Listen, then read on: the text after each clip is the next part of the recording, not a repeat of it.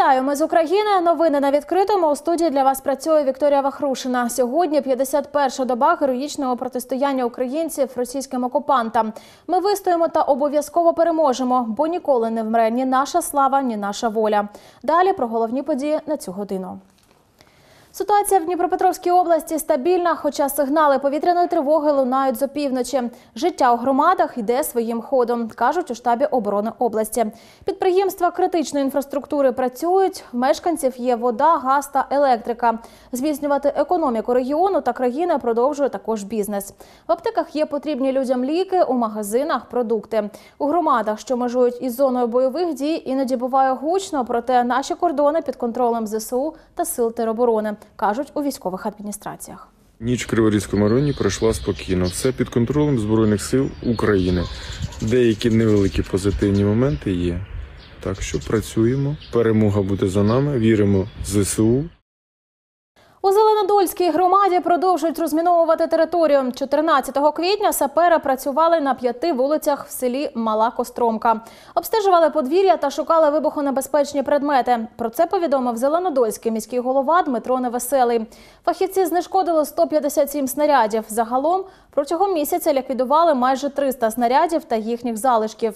Зараз роботи тривають на інших вулицях громади. Нагадаємо, вона межує з Херсонщиною, де тривають бойові дії. Тож у деяких селах ще багато російських подарунків.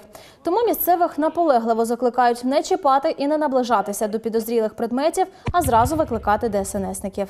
Провели в останню путь у селищі Обухівка, що на Дніпропетровщині попрощалися із захисником України Дмитром Антоненком.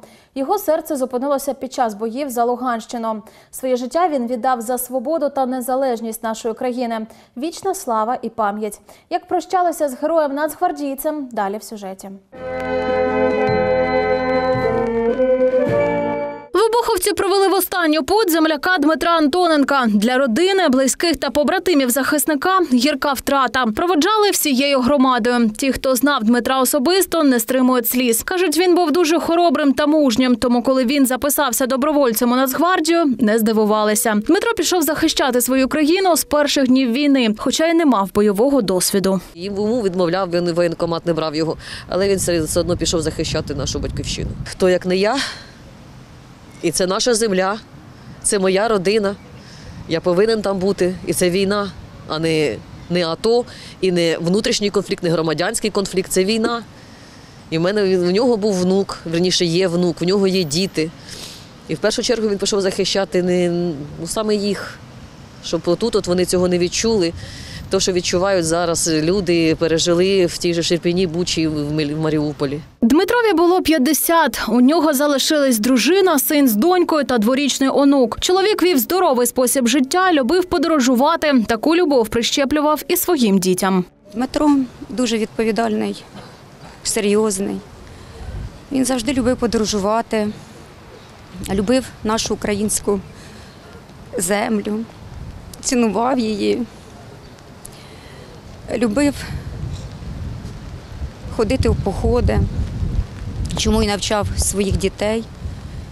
Денис ішов по доріжці з батьком разом. І от оця проклятуща війна забрала його. Друзі згадують, Дмитро був відкритою людиною та надійним другом. Завжди допомагав і ніколи нікому ні в чому не відмовляв. Він постійно приймав участь, був на всіх наших таборах, заходах, які ми проводили, постійно допомагав нам.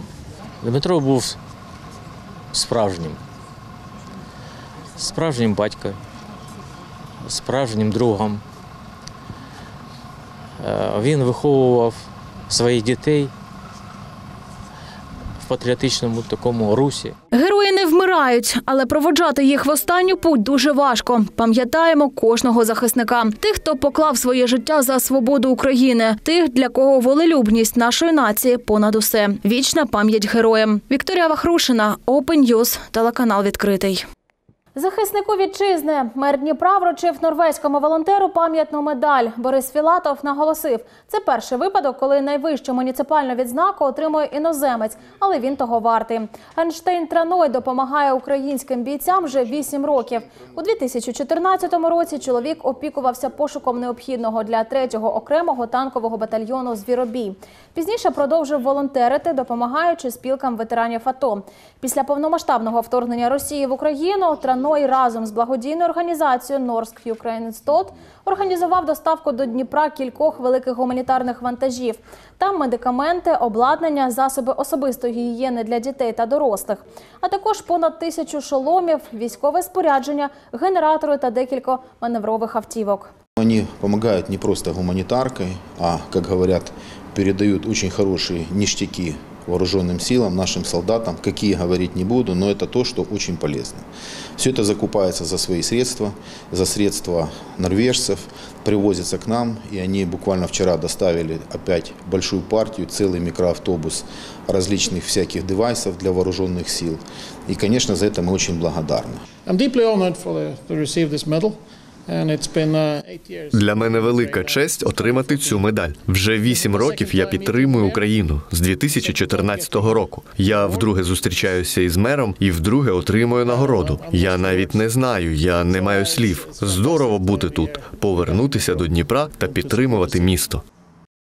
Замість ексклюзивних суконь спальники для військових. У Дніпрі працівники студії моди перепрофілювалися і зараз шиють спальні мішки для бійців Збройних сил України та територіальної оборони. Власниця ательє Світлана Сапунова каже, це рішення прийшло миттєво. Україна має якнайшвидше здолати російських окупантів і відновити мирне життя. Допомогти пришвидшити перемогу може кожен на своєму місці. Вона та її майстрині вміють шити. Звісно, спальники не висока мода, але це те, що зараз конче потрібно нашим захисникам. Тож закупили тканину і взялися за голки та ножиці. Ательє Світлани Сапунової допомагає українським захисникам з перших днів російської агресії. Закупили водовідштовхуючу тканину, матеріал на підкладку, синтепон і почали строчити спальники для військових та тероборони. Власниця студії моди розповідає, спершу дівчатам, які звикли кроїти та шити сукні, було нелегко. Спальники річ об'ємна і важка. Проте вони швидко призвичаїлися, і робота закипіла. Серед майстринь і переселенка з Харкова Світлана Лубеннікова. Жінка все життя працювала у шведському цеху. Вона технолог, конструктор і швачка. У нас такие вот заготовки. Вот у нас это подушечка. Она будет стягиваться на шнурок. Это будет как капюшон. Вот это напирается на синтепон, на толстый синтепон. Модель та дизайн спальників в ательє розробили самі. Шиють два розміри – L та M у двох варіантах – осінній і зимовий. Крім того, це спальник-трансформер. Він розкладається у ковдру. Свій внесок у виробництво потрібних нашим захисникам речей робить і переселенка з Маріуполя Наталія Деміш. Там жінка працювала головним бухгалтером металургійного підприємства, а у Дніпрі стала швачкою. Каже, шиття лише її хобі, тому поки їй довірили просту роботу. Это моя первая Работа. Учусь делать. Мешочек для спального мешка. Упаковочный мешочек. Ну, меня здесь сильно не судят. Стараюсь делать все обережно и аккуратно. Вот первый мешочек я, наверное, часа два делала. Хотелось все ровненько быть, чтобы четко, красиво было. А поки жінки кроять та шиють спальники і мішечки для їхньої упаковки, Дмитро Єрмаков готує фурнітуру. Він теж із Маріуполя. До війни працював у порту. Отматывают от нитки.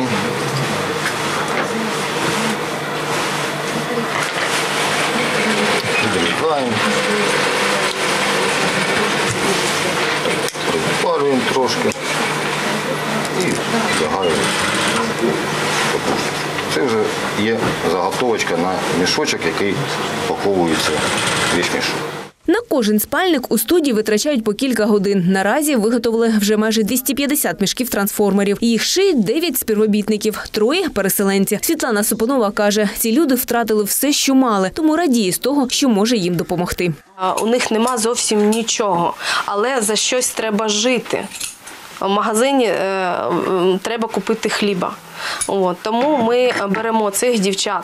І, е, так, у нас немає зараз тієї заплатні, як була до воєнного часу, але мінімальну заробітну плату кожна жінок може отримати, зробивши якусь роботу. ЗСУ та теробороні спальники-трансформери продають за собівартістю. У залежності від розміру і сезону він коштує від 1300 до 1700 гривень. Власниця ательє каже, нині мають замовлення щонайменше на два тижні. Зауважимо, виробництво спальників беззалишкове. З обрізків тканини волонтери плетуть маскувальні сітки, а з синтепону роблять подушки для лікарень та гуманітарних центрів. Остатки синтепона, вот это все, что остается кусочки после раскроя, после кроя, у нас уходит вот сюда вот на подушки. В мирное время это нельзя выбрасывать, а во время войны это вообще, ну как бы преступление. Это отдали людям, людям оно послужит, люди вспомнят нас не злым, добрым, тихим словом. И кому-то будет радость, кому-то будет удовольствие и польза. Самое важное, что будет людям польза. Ну и нам приятно. Альона Вітрова, Максим Мещеряков, Open News, телеканал відкритий. Не сидять, згорнувши руки. З перших днів війни найактивніші дніпровські автори бюджету участі підтримують порядок та безпеку на своїх житлових масивах та в мікрорайонах. Все заради того, щоб бути корисними країні в тилу. Зокрема, на житломасиві Сокіл мешканці облаштували укриття на випадок повітряної тривоги. Спільними зусиллями обладнали вісім схованок. Всередині є дитяча кімната, телевізор та навіть невеличка кухня. Також встановили там буржуйки та зробили запаси води. До слова, піклуються місцеві не лише про себе. На масиві створили також волонтерський штаб, де збирають гуманітарну допомогу для переселенців, які оселилися на житломасиві Сокіл. Помощь э, в- переселенцам, помощь э, беженцам, э, люди, которые приезжают к нам на массив и располагаются в квартирах, им необходимо там э, вещи первой необходимости, это одежда, обувь, э, постель, может быть какая-то посуда, э, также это сухпайки, и у нас есть э, э, еда, которую мы раздаем. э, для э, социальных групп населения, для лежачих больных мы разносим по домам. Тут є дуже багато мешканців, які до цього дуже активно приймали участь у бюджеті участі. Вони е, з року в рік подавали нові проекти, думали над новими ідеями, але зараз е, над новими ідеями не думають у бюджеті участі, але вони згуртувалися та реалізовують проекти з посилення безпеки на житловому масиві. Саме та активна громада, яка до цього активно подавала проекти, зараз е, реалізовує проекти для мешканців району. Це облаштування укриттів, це облаштування збору допомоги. Як ти так називається чат-бот, який створили на Дніпропетровщині для допомоги переселенцям. Його розробники дніпровські підприємці. Вони зібрали в ньому найнеобхіднішу інформацію від пошука житла та меддопомоги до замовлення безкоштовного таксі. У Дніпрі та області знайшли прихисток тисячі людей. Для них працюють гарячі лінії, проте вони перевантажені. І волонтерам не по силах обробити всі запити, наголошують у координаційному штабі волонтерів. Тож чат-бот значно спростив їм роботу.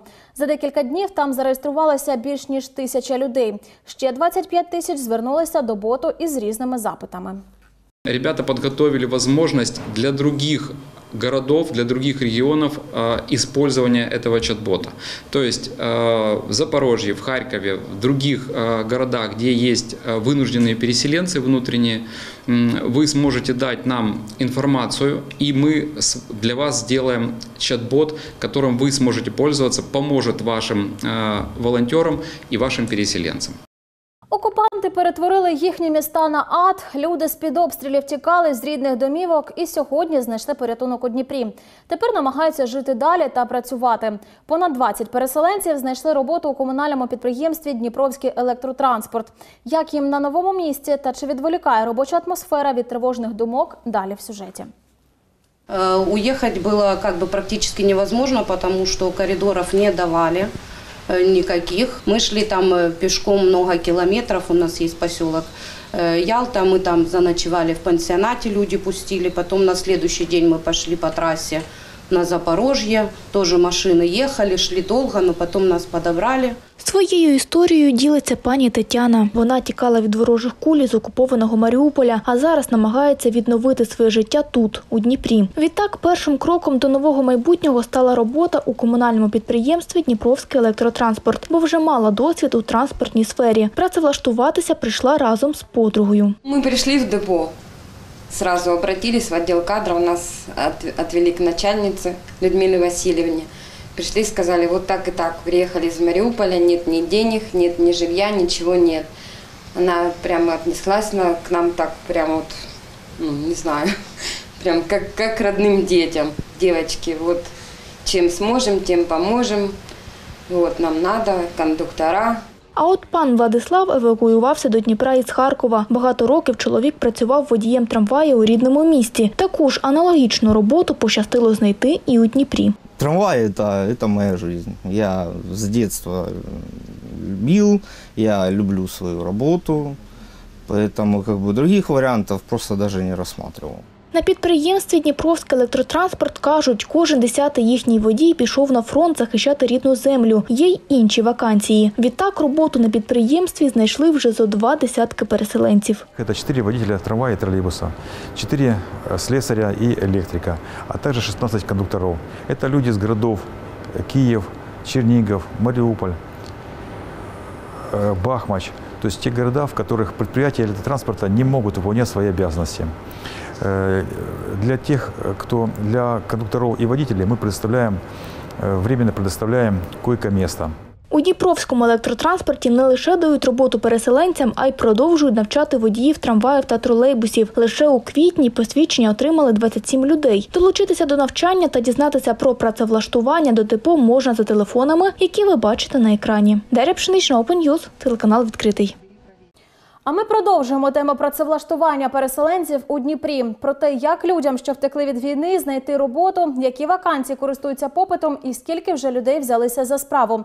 Про це поговоримо з начальницею інспекції з питань праці та зайнятості населення Дніпровської міськради Тетяною Янушкевич. Вітаю вас, Тетяно. Вітаю. Тож розкажіть нашим глядачам, скільки за цей час переселенців подали заявки на пошук роботу, хто вони та звідки, і яка власне вікова категорія.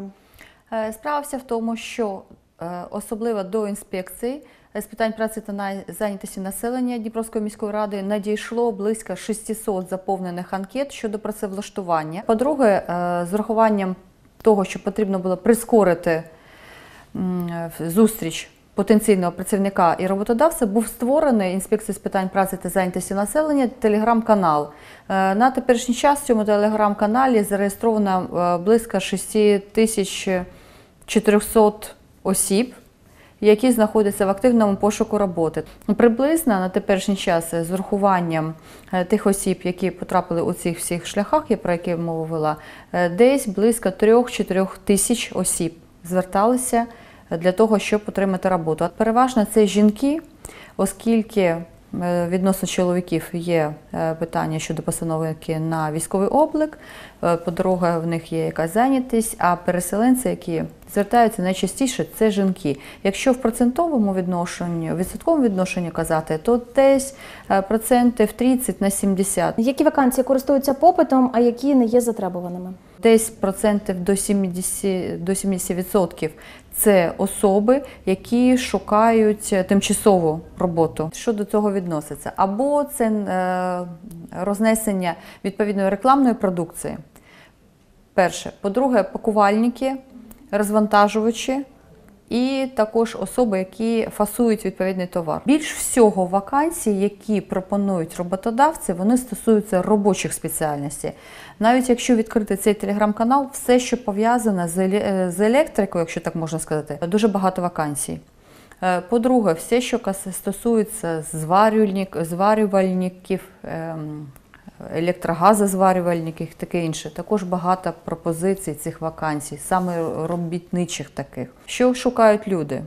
Е, Безпосередньо ті, які втратили роботу. Роботу адміністратора, вони шукають роботу е, найпрості, ну, роботу продавця. Це також те, що е, люди хочуть знайти. Як ви співпрацюєте з переселенцями, які шукають роботу? Е, Співпрацюємо наступним чином. На сторінці, на сторінці Фейсбуці інспекції з питань праці та зайнятості населення розміщені анкети для переселенців для, та осіб, які шукають роботу. Вони заповнюють і ми надсилаємо це е, до бази даних е, безпосередньо роботодавцям, які співпрацюють з інспекцією питань праці, і вони вже визначають, хто з тих осіб, які подав анкету, підходить їм найбільше, а в послідуючому залучають до співбесіди та визначають щодо умов праці. Під час війни залишилося без роботи і деякі дніпряни. Як альтернативу заробітку місто пропонує громадські роботи. Розкажіть, будь ласка, про них, що це таке і які саме роботи. Е, Дійсно, Наше місто за рахунок місцевого бюджету 100% фінансує, тобто оплачує здійснення і виконання цих громадських робіт особами, які знаходяться на обліку у центрі зайнятості, а також мають статус безробітного. Це найпростіше Е, прибирання в парки, це копіювання документів, е, це робота кур'єром, е, рознесення е, відповідної інформації у базах даних. Найпростіше. Виконуючи ці громадські роботи, людина отримує, по-перше, е, пособие по безробітці, і по-друге, вона отримує в розмірі мінімальної заробітної плати, якщо вона виконала, працювала місяць, виконуючи ці громадські роботи. Нагадайте, будь ласка, нашим глядачам, куди звертатися людині, яка шукає роботу, і власне з ким комунікувати. По-перше, я пропоную звертатися до нашої сторінки Facebook, е, на якій розміщені анкети, заповнювати більш подробно про свій досвід, про свою освіту, е, відповідні відомості вносити. По-друге, є телеграм-канал, створений інспекцією з питань праці та зайнятості населення, який називається Зайнятість Дніпро. І там щодня ми викладуємо вакансії. Зразу хочу сказати про те, що ці вакансії майже відразу е, розбираються. Дякую вам за інформацію, те, що завітали до студії відкритого. Я нагадую, гостею у студії новин на відкритому була начальниця інспекції з питань праці та зайнятості населення Дніпровської міськради Тетяна Янушкевич. Говорили про вимушених переселенців у Дніпрі та їхнє працевлаштування.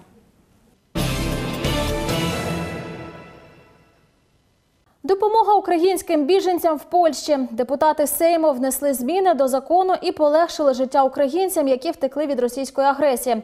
Зокрема, Україні спростили процедуру отримання податкового номера дітьми та людьми з інвалідністю. Відкоригували умови отримання тимчасового допуску до роботи в медичній сфері. Крім того, тепер громадяни України, які живуть у Польщі, зможуть надавати психологічну допомогу своїм співвітчизникам, які не володіють польською.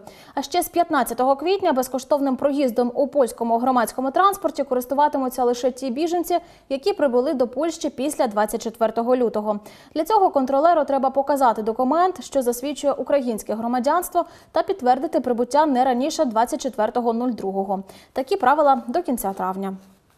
Відтепер можна. НБУ дозволив банкам продавати іноземну валюту населенню. Про це повідомили в регулятора. Проте є кілька умов. Фінансові установи, що здійснюватимуть операції, можуть відхилятися від офіційного курсу Нацбанку не більш ніж на 10%. Водночас і купувати долари або євро у людей банки не можуть дешевше позначки встановленої НБУ. Нагадаємо, зараз долар коштує 29 гривень 25 копійок, євро майже 32 гривні. Відсканувати культурні пам'ятки, аби вберегти їх від війни. ЮНЕСКО запустила проєкт під назвою Backup Ukraine. Таким чином в організації хочуть створити віртуальну версію української культури.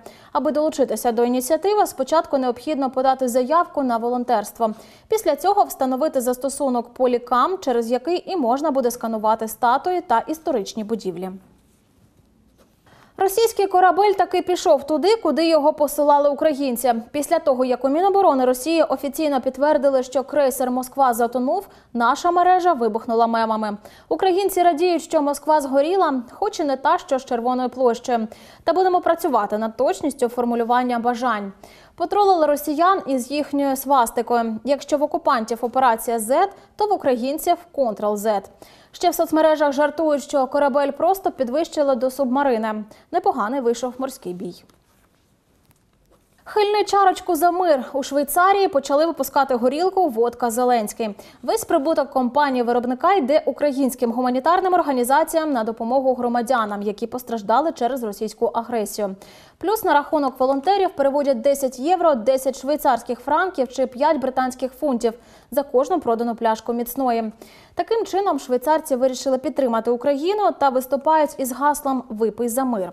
Зараз горілку вже продають у Швейцарії, Великобританії та країнах ЄС. У гурі та радості на Дніпропетровщині одружилася пара рятувальників.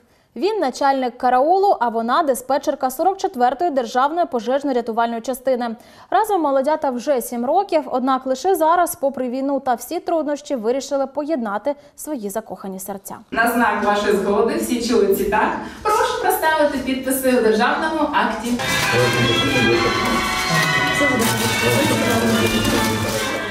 Український хатіко знайшов нового господаря. Пес Макарова на прізвисько Рені, що став відомий у соцмережі через те, що більше місяця сидів на порозі свого будинку і чекав господарів. Нарешті не на самоті. Його прихистила Надія. Жінка розчулилась відданістю собаки і поїхала до Макарова його шукати. Коли вони зустрілись, то Надія не могла стримати сліз. І Рені підійшов до неї та почав лащитись. Так і почалась їхня дружба. А ще один песик, врятований з Маріуполя, знайшов свою домівку в оселі нашого міністра закордонних справ. Дмитро Колеба назвав собачку символічно Марік. А у своїх соцмережах написав, що тепер у двох його псів з'явиться новий друг. Донбаський грізлі у 98-му батальйоні Дніпровської тероборони поповнення. Охороняти базу дислокації військових тепер буде ось такий пухнастик на прізвисько Контрас. Знайшли цуценятко в одному із зруйнованих будинків на Донеччині, коли розвідували позиції. Песик почув військових та вибіг їм назустріч. Прихистив цуцика військовослужбовець Ігор. Чоловік зізнається, він більше любить котів, але не зміг стояти перед чотирилапим рейнджером. Нині двомісячного контраса чекають щеплення та знайомство з новою сім'єю. Після служба в теробороні. Головне завдання новобранця захист території та розрада бійців. Після перемоги новий хазяїн забере собача додому. А поки малюк вже відпрацьовує техніку нападу на окупантів. Контррозвідка, контрас. Так, контррозвідка е, довге, а так контрас, тому що москалів, я думаю, буде чуть здалеку. Буде здавати їх. Так? Я був завжди проти того, щоб держати собак в, в квартире. Думал, потом обзаведемся частным домом и тогда заведем собак. Ну, война, как всегда, внесла коррективы в планы. Вот теперь будет дома еще и собака. Ще одна позитивна новина на сам кінець. Від сьогодні поновив свою роботу Дніпровський планетарій. Поринити у двогодинну космічну пригоду дніпряни можуть щоп'ятниці, а також у суботу та неділю. Деталі на сайті планетарію. А на цьому у мене все. Бережіть себе та рідних. Мирного нам неба. Все буде Україна.